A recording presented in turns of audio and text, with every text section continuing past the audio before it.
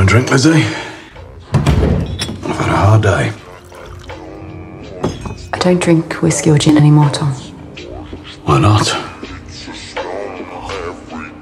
As they say, it harms the baby.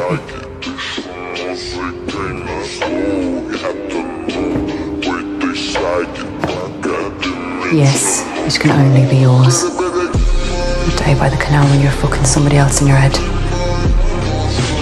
Except it wasn't her who got pregnant.